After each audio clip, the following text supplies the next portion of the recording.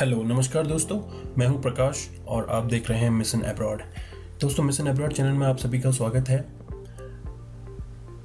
आज मैं बात करने जा रहा हूँ कनाडा पीआर के बारे में, जो कि मैंने स्पेशली ये वीडियो बनाई है उन लोगों के लिए जो ट्रक ड्राइविंग के लिए जा रहे हैं। कुछ लोगों का कहना है कि ट्रक ड्राइवर जो होते हैं, उनको वहाँ पे पीआर नहीं मिलती है, वो इमिग्रेट नहीं हो सकते हैं। तो ये एक झूठी अफवाह है, झूठी बातें हैं। आप इसका डिस्क्रिप्शन कनाडा की web government website C S website में जाकर भी चेक कर सकते हैं बट मैं यहाँ पे आपको एक्सप्लेन करने जा रहा हूँ। तो चलिए शुरू करते हैं। शुरू करने से पहले सारे व्यूअर से रिक्वेस्ट करूँगा, जिन्होंने अभी तक मेरा चैनल सब्सक्राइब नहीं किया है प्लीज़ चैनल को सब्सक्राइब करें। तो जहाँ पे हम बात कर रहे हैं कि आप जो ट्रक ड्राइवर्स हैं, उनको कनाडा में पीआर मिल सकती है कि नहीं। यस उनको कनाडा पीआर मिल सकती है।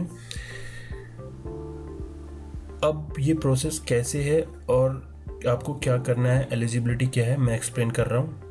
इससे पहले अगर आपने कनाडा ट्रक ड्राइवर का लाइसेंस के बारे में इंफॉर्मेशन नहीं ली है, आप जानना चाहते हैं तो ये वीडियो मैंने बनाई थी how to apply for truck driver licence in Canada दूसरा था how to get truck driver work permit in Canada तो पहले तो आपने क्या करना है, आपने लाइसेंस लेना है।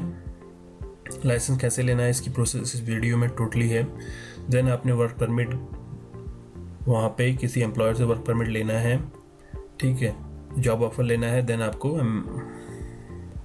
बीसी से वर्क परमिट इश्यू हो जाएगा। ठीक है, आप वहाँ पे काम करने लग जाएँगे।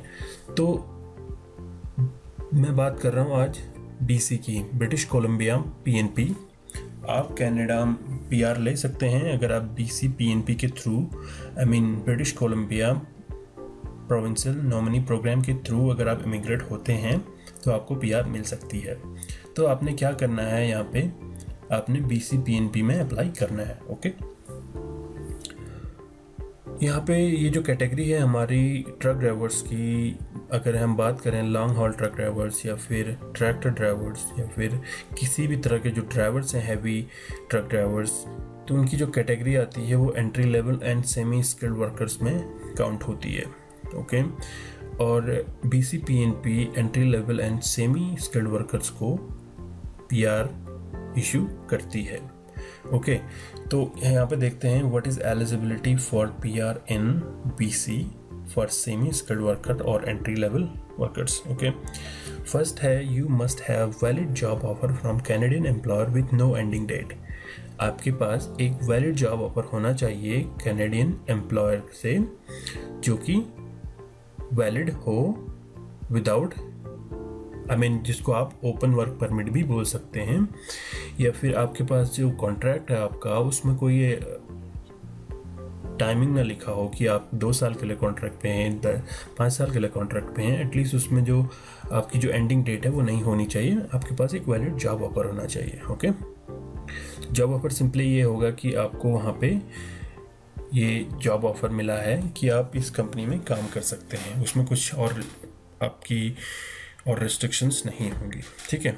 इस तरीके का आपने जॉब ऑफ़र लेना है। दूसरा है your job profile should fall under N O C listing category seven and category D अब जैसे लॉन्ग हॉल ड्राइवर्स हैं या फिर हैवी ट्रक ड्राइवर्स हैं ट्रैक्टर ड्राइवर्स हैं, इनकी कैटेगरी सी एन जो लिस्टिंग है नेशनल ऑक्यूपेशन क्लासिफिकेशन लिस्टिंग जो कि कनाडा गवर्नमेंट की आपके जो ऑक्यूपेशंस हैं उसको क्लासीफाई करने के लिए, उसको कैटेगराइज करने के लिए उन्होंने लिस्टिंग की हुई है कि आपकी जो जॉब प्रोफ़ाइल है वो सी और डी कैटेगरी में होनी चाहिए ओके थर्ड है you should have nine month continuous work experience in Canada आपके पास नौ महीने का वर्क एक्सपीरियंस होना चाहिए बिना किसी ब्रेक के। कंटिन्यू आपने नाइन मंथ तक काम करना है, उसके बाद आप पीआर के लिए अप्लाई कर सकते हैं। ऐसा नहीं करना कि आपने वन मंथ एक कंपनी में काम किया, फिर सिक्स मंथ दूसरी कंपनी में, फिर टू मंथ किसी और कंपनी में, ऐसा नहीं करना।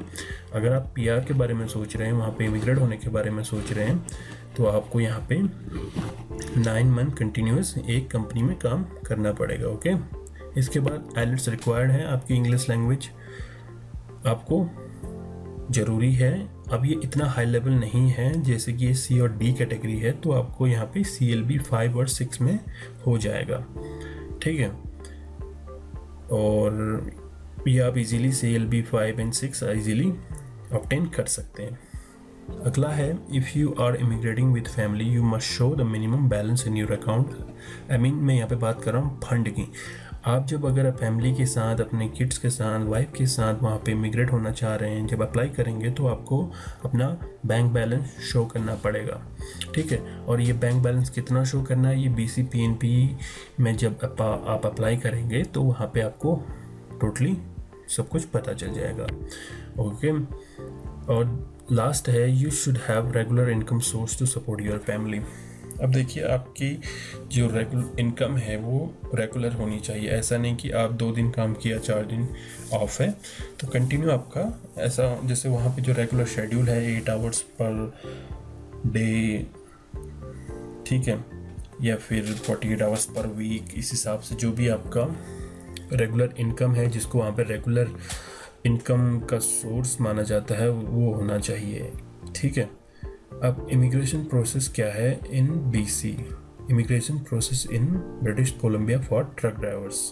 How truck drivers can immigrate in Canada okay सबसे पहला प्रोसेस है create your profile on P N P application dot G O B dot B C dot C A आपने इस लिंक पे जाना है, इस वेबसाइट पे जाना है और उसके बाद आपने अपना यहाँ पे अकाउंट क्रिएट करना है। ठीक है? ये बहुत ही इजी है। अब जब आप इस वेबसाइट पे जाएँगे तो आपको ऑटोमेटिक पता चल जाएगा। ठीक है? उसके बाद जैसे आपने अपना अकाउंट क्रिएट कर लिया है, उसके बाद आप अपने सारे डिटेल्स को वहाँ पे इंसर्ट करेंगे। आई मीन अपलोड करेंगे। अगर किसी डॉक्यूमेंट की रिक्वायरमेंट है तो वो आप वहाँ पे अपलोड करने का ठीक है जैसा कि आ, मैंने पहले एक वीडियो में एक्सप्लेन किया था एक्सप्रेस एंट्री सिस्टम उसमें क्या होता है कि आप आपके पॉइंट्स बनते हैं ये एक पूल सिस्टम होता है ठीक है? सेम उसी तरीके से यहाँ पे भी जो ये पीएनपी है यहाँ पे भी आपका पूल सिस्टम होगा। जैसे आपने अपने डॉक्यूमेंट्स अपलोड कर दिए अपनी डिटेल्स यहाँ पे इंसर्ट कर दी सारी डिटेल्स आपने फिलअप कर दी उसके बाद आपका है उसके बाद है उसके बाद क्या होगा? आपका जो स्कोरिंग होगी स्कोरिंग किस तरीके से होगी? आपका स्कोरिंग आपका वर्क एक्सपीरियंस का स्कोर है, आपका एजुकेशन का स्कोर है, आपका इंग्लिश लैंग्वेज का स्कोर है, उस हिसाब से उसमें पॉइंट आपको मिलते हैं। ठीक है, जो पॉइंट फिर सारे छोटे छोटे चीज़ों के पॉइंट मिलकर आप एक बड़ा सा नंबर बना देंगे। सपोज़ आप 25 पॉइंट्स आपको इंग्लिश लैंग्वेज में मिले 10 पॉइंट्स आपको एजुकेशन में मिले या फिर 120 पॉइंट्स आपको एक्सपीरियंस पे मिले तो इस हिसाब से आपके 200 सम पॉइंट या 500 पॉइंट्स हो गए। या 400 पॉइंट्स हो गए आपके, ठीक है? मान के चले आपके 400 पॉइंट्स हैं। देन इसी तरीके से बहुत सारे लोगों ने अप्लाई किया होता है ओके तो फिर उसमें क्या होता है कि सब लोग एक, उन्होंने कैटेगरी बना रखी है कि 400 से ऊपर अगर जिनके पॉइंट्स हैं उनको एक पूल में रखा जाएगा। 400 से 450 तक जिनके पॉइंट्स हैं, उनको एक पूल में रखा जाएगा। ठीक है? तो इसके हिसाब से फिर उनमें ड्रॉ निकालते हैं। मंथली या फिर ट्वाइस अ मंथ वो ड्रॉ निकालते हैं। तो ड्रॉ में एक पॉइंट निकलता है। सपोज़ वो 398 है। ठीक है? तो ड्रॉ जो निकला 398 का और आपका है 400 तो आपको ITA आपको आ जाएगा। इनविटेशन टू अप्लाई आपको आ जाएगा। तो जैसे ही आपको इनविटेशन टू अप्लाई आता है तो आप इमिग्रेशन के लिए अप्लाई कर सकते हैं। ठीक है? जैसे ही आपको आई आ गया इनविटेशन टू अप्लाई आ गया, उसके बाद आप ऑटोमेटिक आप वहाँ पे, वहाँ के सिटीजनशिप बन जाएँगे। बस थोड़ा सा आपको वेट करना पड़ेगा four to five maximum six month then आपकी फर्दर प्रोसेसिंग होगी और आपको कनाडा की पीआर मिल जाएगी। बट आपको यहाँ पे मेन पॉइंट ये है कि आपने अपने जो डॉक्यूमेंट्स हैं पूल में जो अपने जो भी पॉइंट्स गेन करने हैं, अपने इस पॉइंट पे ध्यान देना है, ठीक है? कोई बड़ी बात नहीं है, आप इजीली कर सकते हैं, ठीक है? सी और डी कैटेगरी में वैसे कम लोग हैं और कम लोग ही अप्लाई करते हैं और कुछ लोग आई मीन अगर हम बात करें हंड्रेड की तो हंड्रेड में से फोर्टी परसेंट पी के थ्रू अप्लाई कर रहे हैं। फोर्टी परसेंट में से भी, सपोज़ हम बात करते हैं टेन परसेंट की, वहाँ पे स्कोरिंग नहीं हो पाती है, वो डॉक्यूमेंटेशन प्रॉपर नहीं हो पाता थर्टी परसेंट। फिर थर्टी परसेंट में से आप अप्लाई करके अपना पॉइंट सिस्टम अगर अच्छा गेन करते हैं तो आपको वहाँ पे इनविटेशन टू अप्लाई आ जाएगा और आप वहाँ पे थोड़े प्रोसेसिंग के बाद डॉक्यूमेंट प्रोसेसिंग के बाद आप वहाँ पे सिटीजन बन सकते हैं। So you can you receive your Canadian citizenship ये बहुत ही इजी प्रोसेस है और ट्रक ड्राइवर्स के लिए ठीक है। तो फ्रेंड्स आपको ये समझ में आ गया कि ट्रक ड्राइवर को कनाडा में पीआर मिलती है। ओके अब हम बात करेंगे truck driver salary in Canada बहुत सारे लोगों ने मुझे ईमेल भी किया हुआ है, बहुत सारे लोगों ने मुझे कमेंट्स भी किए हुए हैं कि सर ट्रक ड्राइवर्स की सैलरी क्या होती है। ठीक है अब ट्रक ड्राइवर की सैलरी मैं आज आपको एक्सप्लेन करने वाला हूँ। ठीक है? जो 2016 की जो स्टडी है, जो एनालिटिक्स जो है 2016 के, उसमें आर्ली पे वेज जो एवरेज आउट है, अगर हम पूरे कनाडा में एवरेज आउट कर रहे हैं तो ये है 21 डॉलर पर आवर की। ठीक है? और ईयरली एवरेज सैलरी जो जाती है forty nine thousand per year अगर आप इसको रुपए में चेंज करेंगे करेंगे तो बहुत ज़्यादा हो जाएगा, पचास साठ लाख रुपए। ठीक है। तो ये है आपका ये आर्ली वेज 2016 के अकॉर्डिंग बट हम बात करते हैं, अगर अब बात करें 2017 की वेजेस अकॉर्डिंग टू प्रोविंस ठीक है कनाडा में अल्बर्टा की बात करें तो 18 dollar minimum 18 dollar minimum per hour मिला था। ठीक है, कम से कम बात करें। मैक्सिमम जो गया था 26 डॉलर और हाई जो गया था 39 सॉरी यहाँ पे जो मीडियन है, ये 26 है हाई जो है 39 उसी तरीके से ब्रिटिश कोलंबिया 15 मीडियन है twenty four ninety five high जो है थर्टी फाइव डॉलर इसी तरीके से यहाँ पे देखिए सस्काशन में है fifteen thirty eight then twenty three sixty three max जो गया था थर्टी फाइव अंटारियो में है thirteen dollar low median twenty dollar and high twenty nine dollar Quebec में देखिए thirteen dollar five thirteen dollar fifty cent आपका Quebec में है। मैक्सिमम जो गया था, आपका ट्वेंटी सिक्स डॉलर अब देखते हैं यहाँ पे हाईएस्ट किसमें गया है, कौन सी? अल्बर्टा में देखिए thirty nine dollar per hour के हिसाब से आपका।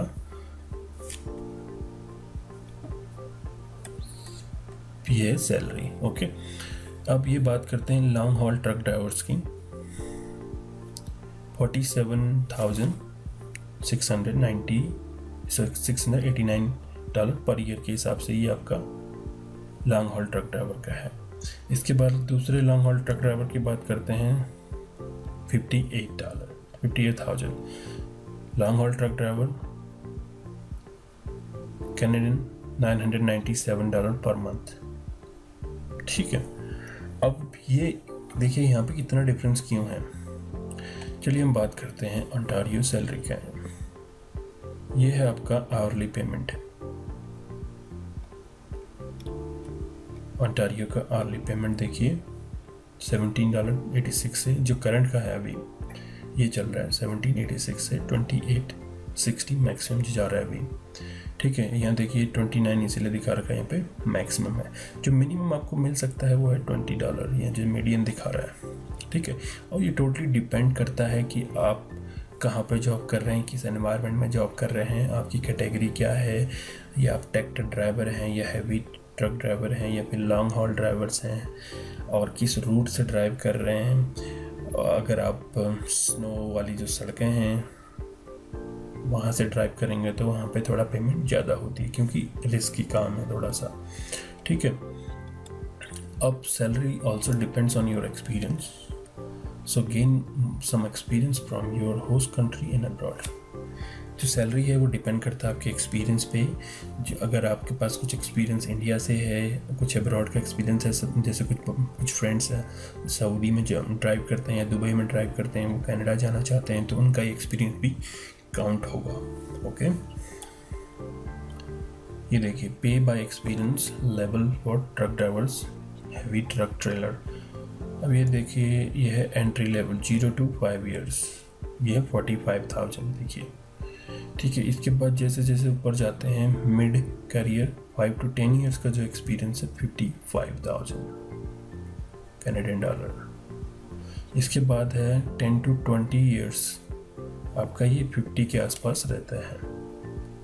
ठीक है, ये मिड करियर की बात करते हैं। लेट करियर जो 20 साल या 20 साल के आसपास हैं, वो जाते हैं 55 से ऊपर। ठीक है तो ये है आपका एक्सपीरियंस टोटली एक्सपीरियंस पे बेस्ड है आपका जो सैलरी होगा। बट आर्ली जो वेजेस हैं मिनिमम आपका थर्टीन ट्वेंटी सेवनटीन ये डिपेंड करता है आपकी स्टेट के ऊपर। और आप किस स्टेट में ड्राइव कर रहे हैं, किस एनवायरनमेंट में ड्राइव कर रहे हैं। तो उसी के अकॉर्डिंग आपकी सैलरी भी है। ठीक है? और दोस्तों, मैं उम्मीद करता हूँ ये इन्फॉर्मेशन आप लोगों के लिए आप लोगों के लिए अच्छी है और आपको ये पसंद आई है।